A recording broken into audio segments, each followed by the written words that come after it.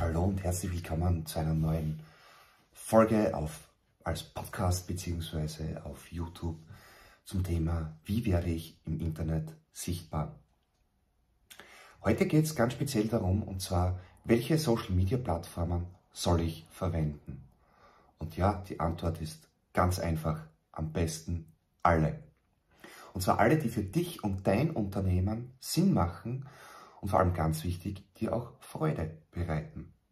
Probiere eine Plattform nach der anderen und entdecke dabei, welche für dich zielführend sind. Es kann auch sein, dass du eine Top-Reichweite erreichst, allerdings keine Umsätze damit erzielst. Dann entscheide für dich selbst, ob du auf Spaß weitermachst oder deinen Fokus auf eine andere Möglichkeit setzt oder deinen Inhalt änderst. Interessiere dich auch für Storytelling und Copywriting. Mach dir bitte keinen Stress mit machen müssen. Du musst absolut nichts. Du musst machen oder du kannst machen. Social Media bedeutet auch in erster Linie sozial mit anderen Menschen zu kommunizieren. Hast du keinen persönlichen Bezug zu einer Plattform oder hast du schon Frust, bevor du etwas postest? Überleg dir, ah, überträgt sich das? Nochmal von vorne. Hast du schon einen Frust, bevor du eine Plattform verwendest? Ja? Überleg dir bitte auch oder bedenke auch, dass sich dieser Frust auch in dieser Plattform überträgt und auch an deine Community überträgt. Ansonsten, have fun and start before you're ready. Schritt für Schritt. Möglichst alle Plattformen zu bedienen ist kaum möglich. Viele Plattformen zu befüllen wird gerade als Einzelkämpfer mühsam. Schließlich sollst du ja mit deiner Unternehmung Geld verdienen und Social Media Marketing soll dafür Werbung sein, statt ja, deine Haupttätigkeit. Das ist kein Fulltime-Job. Ja? Wenn du es dir leisten kannst, natürlich, dann ist das definitiv für einige Leute ein Fulltime-Job. Einzelkämpfer, hab Spaß.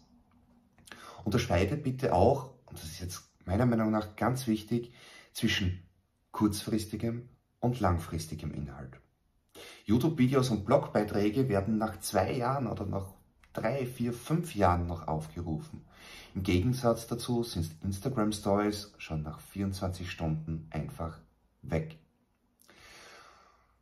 Um deinen Inhalt gerade am Anfang sinnvoll einzusetzen, zeige ich dir einfach ein paar Möglichkeiten Schritt für Schritt, wie du dein Unternehmen, deine Tätigkeit, dein Hobby, dein Beruf, was auch immer, in die Sichtbarkeit bringen kannst. Verwende zum Beispiel WhatsApp Business statt die standard private WhatsApp-Version. Erstelle dir eine eigene Homepage inklusive eigener Domain und eigener E-Mail-Adresse. Trage dich im Google Unternehmensprofil ein. Erstelle deine ersten Drucksorten und auch Offline-Werbemittel und erstelle dir eine ordentliche E-Mail-Signatur. Alles weitere kannst du im Laufe der Zeit starten und immer wieder in deine Webseite integrieren. Setze deinen Fokus auf jeden Fall auf dein Unternehmen. Arbeite am Unternehmen, nicht im Unternehmen. Konzentriere dich vor allem auch auf Effektivität und nicht das, was andere in deiner Branche machen. Vielleicht benötigst du gar keine 10.000 Visitenkarten, sondern nur 200 sehr edle Visitenkarten. Oder du benötigst auch keine 5000 Folder, sondern nur 20 für die richtigen Kunden. Oder du benötigst auch keine 350 Blogbeiträge oder, tja, meine Spitzenzeiten dreieinhalbtausend Blogbeiträge, sondern nur die wichtigen und die richtigen für deine Kunden, für deine Zielgruppe. Es reicht schon mal, deine zukünftigen Kunden anfangs über dich und deine Produkte oder deine Dienstleistung zu informieren. Kunden sollen dich erstmal finden und auch das Wesentliche von dir sehen und dich dann auch natürlich erreichen können. Also, welche Social Media Plattformen sollst du verwenden? Alle, die du magst, alle, die dir Spaß machen und alle, die du noch nicht kennst. Probier auch mal neue Plattformen aus. Ich habe für mich entdeckt, mit Snapchat kann ich gar nicht. Keine Ahnung. Persönlich weiß ich nicht. Ja. TikTok konnte ich lange nicht. habe ich vor ein paar Monaten gestartet und war total überrascht. Ja, viele weitere Infos zu diesen Themen und anderen Punkten rund um deine Sichtbarkeit im Internet in den nächsten Folgen oder in den vergangenen einfach bei YouTube mal in die Videos reinschauen, beziehungsweise im Podcast einfach einmal ja, den Podcastverlauf durchsehen.